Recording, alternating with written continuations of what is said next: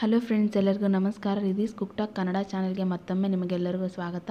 ನಾನು ಇವತ್ತು ಕಡಲೆ ಪುಡಿ ಮಾಡೋದನ್ನು ತೋರಿಸ್ತಾ ಇದ್ದೀನಿ. ಇದನ್ನು ಕೆಲವೊಬ್ಬರು ಚಟ್ನಿ ಪುಡಿ ಅಂತ ಕೂಡ ಕರೀತಾರೆ. ಇದು ಬಿಸಿ ಅನ್ನ ತುಪ್ಪ ಜೊತೆ ತುಂಬ ಚೆನ್ನಾಗಿರುತ್ತೆ. ಹಾಗೆ ಟಿಫನ್ ಐಟಮ್ಸ್, ಉಪ್ಪಿಟ್ಟು ಅವಲಕ್ಕಿ ಒಗ್ಗರಣೆ, ಮಂಡಳ ಒಗ್ಗರಣೆ, ಇದಕ್ಕೆ ತುಂಬ ಚೆನ್ನಾಗಿ ಸೂಟ್ ಆಗುತ್ತೆ.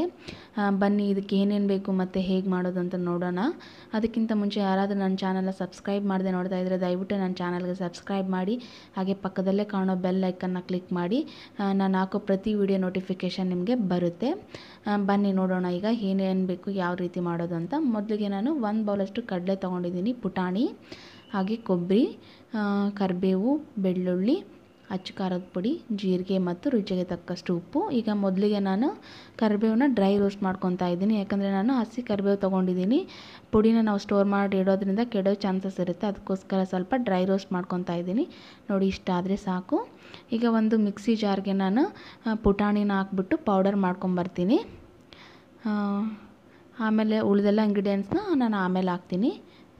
ನೋಡಿ ಈಗ ಪೌಡರ್ ಆಗಿದೆ ಉರ್ಗಡ್ ಹುರ್ಗಡ್ಲೆ ಈಗ ಅದಕ್ಕೆ ಒಣ ಕೊಬ್ಬರಿ ಮತ್ತು ಅಚ್ಚ ಖಾರದ ಪುಡಿ ಹಾಕ್ತಾಯಿದ್ದೀನಿ ನಿಮಗೆ ಖಾರಕ್ಕೆ ಎಷ್ಟು ಬೇಕೋ ಅಷ್ಟು ಹಾಕ್ಕೋಬೋದು ಹಾಗೆಯೇ ಒಂದು ಗೆಡ್ಡೆ ಬೆಳ್ಳುಳ್ಳಿನ ಹಾಕ್ತಾಯಿದ್ದೀನಿ ಹಾಗೆ ಈಗ ಡ್ರೈ ರೋಸ್ಟ್ ಮಾಡಿ ಇಟ್ಕೊಂಡಿರ್ತಕ್ಕಂಥ ಕರಿಬೇವು ಸಹ ಹಾಕ್ತಾಯಿದ್ದೀನಿ ರುಚಿಗೆ ತಕ್ಕಷ್ಟು ಉಪ್ಪು.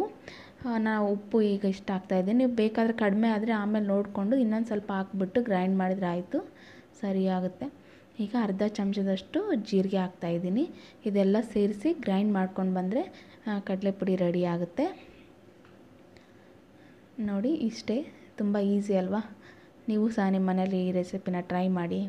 ಹಾಗೆ ನಾನು ಮಾಡಿರ್ತಕ್ಕಂಥ ರೆಸಿಪಿ ಇಷ್ಟ ಆದರೆ ದಯವಿಟ್ಟು ಲೈಕ್ ಮಾಡಿ. ಹಾಗೆ ನನ್ನ ಚಾನಲ್ಗೆ ಸಬ್ಸ್ಕ್ರೈಬ್ ಮಾಡೋ ಮೂಲಕ ನನಗೆ ಸಪೋರ್ಟ್ ಮಾಡಿ ಮತ್ತು ಪಕ್ಕದಲ್ಲೇ ಕಾಣೋ ಬೆಲ್ ಐಕನ್ನ ಕ್ಲಿಕ್ ಮಾಡಿ. ಹಾಗೆ ಈ ರೆಸಿಪಿನ ನಿಮ್ಮ ಫ್ಯಾಮಿಲಿ ಮೆಂಬರ್ಸ್ ಮತ್ತು ಫ್ರೆಂಡ್ಸ್ಗೂ ಸಹ ಶೇರ್ ಮಾಡಿ. ಅವರು ಸಹ ಟ್ರೈ ಮಾಡಲಿ. ಥ್ಯಾಂಕ್ ಯು ಫಾರ್ ವಾಚಿಂಗ್ ಧನ್ಯವಾದಗಳು.